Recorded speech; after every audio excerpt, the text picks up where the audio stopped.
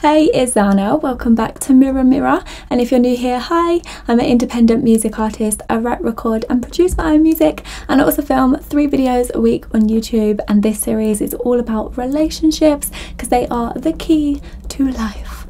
So, for this video, I want to talk about something that I actually had a conversation with my best friend about last year sometime when we were going to film for our podcast called Validate Me. The link will be in my bio my bio. I'm so used to saying that on Instagram. The link will be in the description box below if you want to watch and check out our podcast. But I had a conversation with her about this topic when I was kind of going through some things and I needed a bit of advice.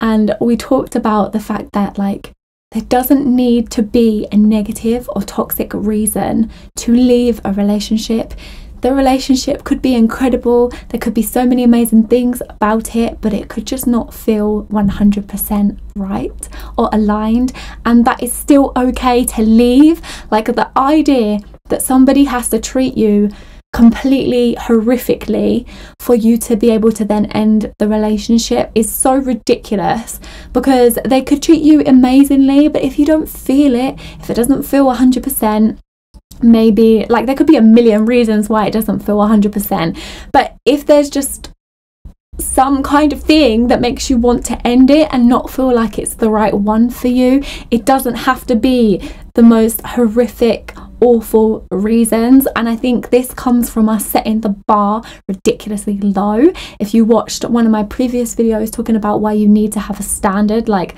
think the bar has been set so low for so long, not just for women, but for men too. We have set the bar ridiculously low to where we feel like the only valid reason to actually end something is if cheating happens or if there's abuse or just something really disgusting and awful. Like, why does it need to be so horrific before we walk away? Why can't it just be that it just doesn't feel right. It doesn't feel aligned. You know there's many many reasons why things don't feel aligned. Maybe you don't share the same beliefs. Maybe you want different things. Maybe one person wants kids and the other doesn't. Like there could be small reasons but that they just feel right within you. And if you're very in tune with your intuition and your emotions like you can walk in a room and meet a complete stranger and it feel off, but you don't even know why. You know, like you don't even know them to even know why it feels off. But if we were to trust that, you just wouldn't even interact with them or even take the time to get to know them because you already have been pre warned by your energetic field, like by your body, by your emotions. It's already warned you that that person is not in alignment with you and it's not a good idea to even approach them, you know? And if we took the same approach in our romantic relationships to where we feel that something doesn't feel right and instead of questioning it instead that word did not come out right. Instead of questioning it i don't know why i can't say that word today um, instead of like needing proof and needing that to be validated if we just trust our feelings our intuition and what it's telling us we would probably save ourselves so much heartache and so much stress so much confusion because our, our emotional body and our soul, like our hearts, it already knows the um, path that you need to take and it already knows the kind of connections that you're going to take and that you need. So it will instantly tell you when something is not right for you and not the direction that you should be taking.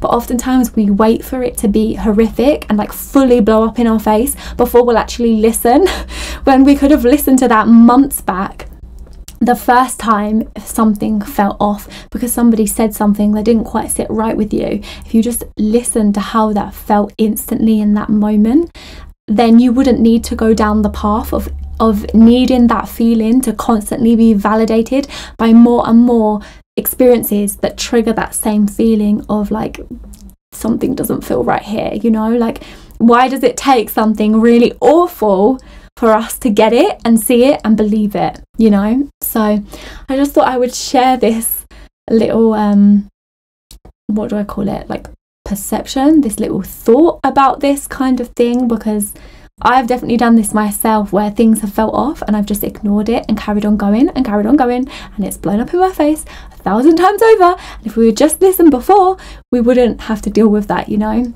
And also, somebody could be an incredible person, like it doesn't mean that they're a bad person or that something negative will happen if you be with them. But what I mean is, like, there doesn't need to be this huge reason as to why you don't want to be somebody. It could just be that you're not into them. You don't see them in that way. Maybe you're not attracted to them. Maybe you just like you just don't want to be with them in that way and that is fine.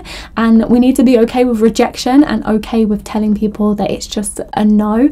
And we don't have to explain ourselves or give this like long drawn out reason or this like real negative reason as to why we don't want to be with them. Maybe we just don't because we just don't you know? And there doesn't have to be a, like a brutal reason or something extremely negative as to why we don't be them be as to why we don't want to be with them you know? So yeah i think we kind of need to restructure the way we think about these things because it's definitely something where you can get yourself in toxic cycles and situations if we don't listen to our intuition and trust what we hear and follow through with what we hear. So yes, that is it for this video. Thank you so much for watching. I hope it was helpful. Don't forget to like and subscribe if you haven't already and check out the description box below for all links to my social media, my music, my merch, my phone number and so so much more because I do send daily inspirational spiritual thoughts via text and WhatsApp. So definitely check out the description box below and I will see you in the next video. Bye.